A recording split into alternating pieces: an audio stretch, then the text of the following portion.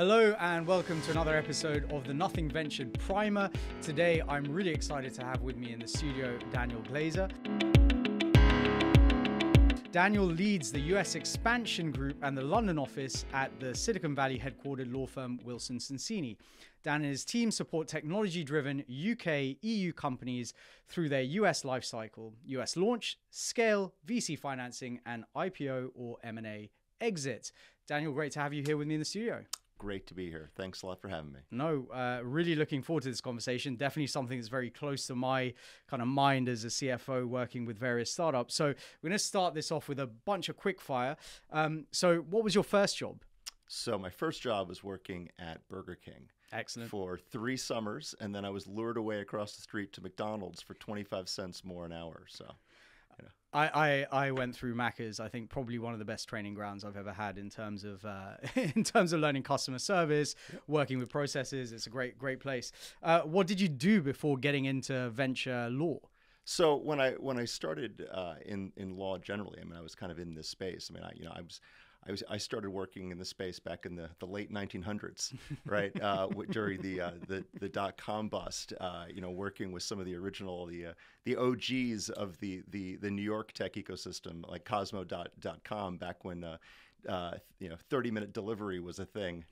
Uh, but you know, been working in the space for a long, long, long time. You know, in, in the old days, probably worked with, with a lot of uh, larger UK companies too. Probably the best known one is did a lot of work for Cadbury Schweppes over, over the years. That was always a favorite.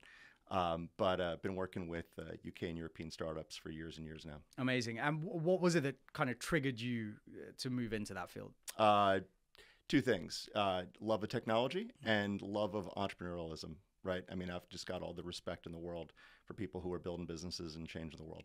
And what would you be doing if you weren't a lawyer? Uh, probably something in the government. Uh, I really do like that sort of tra- transatlantic international commerce thing. Uh, probably you know, U.S. commercial service, uh, you know, U.K. Department of Business and Trade, something connecting countries and geographies in, in commerce. It's kind of a thing. Yeah, you could you could have been out there with Rishi talking to Joe about uh, how UK and AI is going to be the, the, the or the UK is going to be the champion of AI in the future, right? That that that could have been you. Absolutely. Let's talk about Wilson Sonsini for a second. So, how large is the practice? What kind of businesses did you work with? What stages? What sectors? What geographies? And and what are your kind of primary services? I guess. Sure, sure thing. So the firm as a whole is about 1,200 lawyers, Silicon Valley headquartered, uh, 14 offices around the U.S. And the way that we sort of think about it is it's a, it's kind of horizontally narrow and vertically broad, right? Horizontally narrow in that there's a real focus, laser focus on technology and life sciences companies, mm-hmm. but vertically broad, which is that sort of for those companies we do kind of everything across the board, right? Mm-hmm. Corporate, commercial, IP, data privacy, regulatory, employment, share options, et cetera.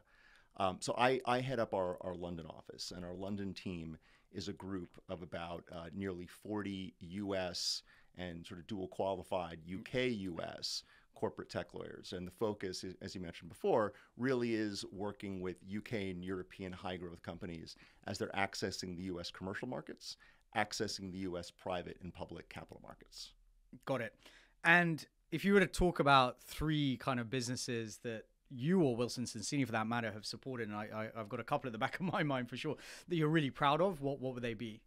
So maybe, maybe the first one will, will, will be kind of one, one of the firm's classic stories is that you know the firm uh, incorporated Google back mm. in in '98, um, which is you know kind of a neat neat thing, Pretty right? Cool. And then and then then worked on the the IPO uh, about, about about six years later, and you know still you know, still close to, to, to the company today. So that's that's really exciting. Um, you know, I think another one was uh, something for me personally, and the firm obviously as well, but th- this one's maybe closer to me, is um, uh, 2017 when uh, when we worked with Im- Improbable mm. on on the the big uh, the big big big SoftBank raise. That was, in my mind, one of the deals that really put London on the map. I can I can tell you that after that deal, you know, a uh, you know company like that, Improbable raising 500 million uh, that got Silicon Valley to pay attention. Got it. Right? And and as as an American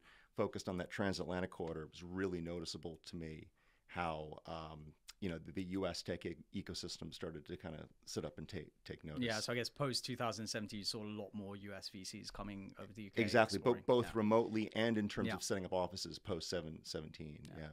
Um, and I think probably the third one would, would be uh, our work with Included VC. Hmm. Um, that we were one of the founding uh, partners, uh, founding outside partners for Included. And I remember when the original uh, team came to us and told us about the idea, and I just I just loved it. Right, being able to work with um, you know underrepresented communities and, and, and helping open doors to get into venture, super exciting, and we're really proud of that. Yeah, so uh, one of these days I am going to get Nikita on the podcast. She seems quite uh, camera shy, maybe, so I've, I've got to kind of convince her. Equally, I have applied several times, so if you can put a good word, uh, that would be great. Uh, but I, I keep getting told I'm, I'm, I'm the wrong profile.